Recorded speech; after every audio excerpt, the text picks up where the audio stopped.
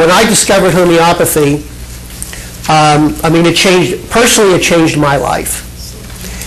And um, I did my homeopathic training at the Hahnemann Homeopathic College in Berkeley, California. And I have to laugh because I went to, uh, I did my allopathic or traditional training at the Hahnemann College in Philadelphia. And then I repeated my training, Hahnemann on the other end of the United States. So, you know, I had to, I had to repeat, I had to repeat my training to get it right. But it was a four-year program, and every month for a long weekend, I flew from Pittsburgh to San Francisco for four days. And I just could not wait for those four days. I said to myself, why didn't they teach us this in medical school? You know, all this just makes sense. And um, it was just such a wonderful experience. And the thing that just really, you know, blew my mind was when I got my homeopathic training, I used the same textbooks that they used 200 years ago. And when I went to medical school, by the time I was a senior, all the things I learned my freshman year are outdated. And then people say, well, it's the progress of medicine. Medicine's getting better and we're helping people more, but it's just the opposite. There's more and more theories. You know, the only joyous thing that happened, they executed the head of the FDA in China. They should do the same thing here in the United States, you know? Uh, so, uh, but, but homeopathy is, is truly based on laws, laws that don't change, laws of healing. And you really don't have to practice homeopathy to be a good physician as long as you understand those laws. And the basic law is that our body is very intelligent. And we're not capable, our minds are not capable of understanding disease. All we can do is observe disease. And, you know, homeopathy was developed by Samuel Hahnemann about 250 years ago. And Hahnemann was a physician, a brilliant physician. He was fluent in six languages, had various degrees, and he became very disgusted with medicine of his time because of bloodletting, caustic salts, and he felt that medicine was causing more harm than good. So he quit his, med his medical profession, and because he was fluent in six languages, he worked as a translator. And he was translating uh, Materia Medica, and they were talking about cinchona bark. And in the chapter uh, that he was translating, it stated that cinchona bark was good for the treatment of malaria because of its astringent properties. And he said, this really doesn't make sense, astringent properties. I mean, there's many astringent chemicals, why is this particular substance good for malaria? And being a scientist, he decided to begin taking the cinchona bark himself. And he ingested it. And then he developed symptoms of malaria, high fever and chills. And then he remembered uh, a law of antiquity which dated back to Paracelsus and Hippocrates. And that law states that, you know, like cures like the law of similars. So uh, being the scientist, what he did was he began homeopathic provings. Now, one of the biggest complaints that people have about homeopathy is that it's not scientific. There's no science behind it. But one good thing that happened by a quirk of nature and maybe an act of God, that every homeopathic substance that we use has been approved by the FDA. And you may say, well, how can that possibly be? Well, the FDA went asleep. They fell asleep. There was a book called the Homeopathic Pharmacopoeia.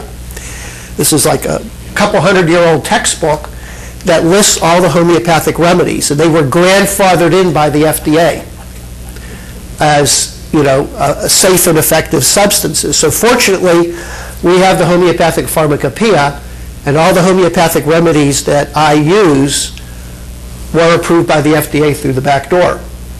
So what is a homeopathic proving? Remember the law of similars that like cures like. And simply stated is a substance which produces symptoms in a healthy individual will cure those in a diseased state. So, um, and the way a homeopathic proving is done, let's say belladonna. Belladonna is a common homeopathic remedy. And usually a proving is done, you're given an unknown substance. So nobody in this room would know that they are getting belladonna. Everybody would get some pellets, and you're to take the pellets twice a day, and you keep a diary and you record all your symptoms.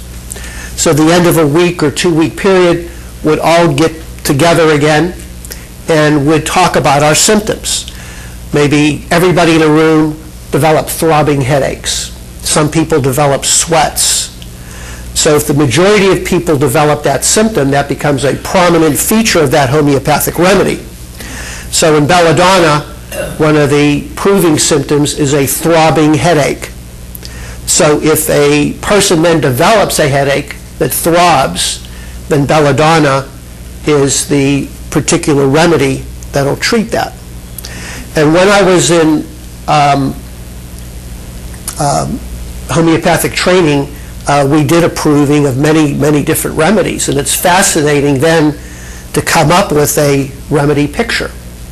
So all these remedy pictures were tabulated in great detail. Uh, there's a book called Allen's Materia Medica, which is over 13 volumes, and each volume is maybe 500 pages, where it lists all these symptoms. And you can see that, that homeopathy is scientifically, has scientifically developed. It's not that we selected these remedies randomly. And the thing that really illustrates to me that homeopathy has power is many times you'll give a person a remedy and there'll be no effect. And maybe the second remedy, a partial effect. But when you do get the right remedy, there's a major transformation. It seems to help all aspects of the person. Now, you know, homeopathy is so difficult to explain because usually when you talk to somebody about homeopathy, they go, yeah, I know homeopathy. It's eating organic food and, you know, drinking water and diet. But homeopathy is based on these remedies that I'm talking about. And these remedies are substances uh, that are diluted. And the best way that I can explain this is, for example, everybody knows echinacea. You know, you take echinacea to strengthen your body uh, for colds and flus and things like that. But you're taking a physical substance. So the way a mother tincture is made in herbology is that the physical substance is soaked in alcohol for three to five days, and that alcohol then leaches out the healing properties of the medicine. So that's one way of developing an herbal product. The second way is just simply to dry the product, chop it up, and put it into the capsules. So when you go to the store, you're taking echinacea either in the tincture form or, or the capsules. I, I personally think that the tincture form is much better because of the higher absorption. Um, now, so how do we make a homeopathic remedy? Well, a homeopathic remedy, we dilute the substance. So if we take that mother tincture, we dilute it a hundredfold, and that becomes a 1C. Then we dilute it again a hundredfold. That becomes a 2C. Then we dilute it again, it becomes a 3C. So you can see the successive dilutions, and sometimes we get to 10 to the minus 200. So it's been successively diluted uh, 200 times by 100. And it's, it's to the point where if you calculate it um, chemically, in terms of dilution, it's like one molecule being in the Pacific Ocean. And that's how traditional medicine mocks homeopathy. You know, there's nothing there. How can it work? It's so dilute. But it's based on energy. And, you know, we have a physical body that I can touch and feel. And then we have different outer layers of our body, our spirit, uh, etheric layers, and, you know, what have you. And what homeopathy does, it takes that physical substance and it kind of energizes it to a certain energy substance, which kind of treats the, the cause of the disease, the energetic disturbance of our body.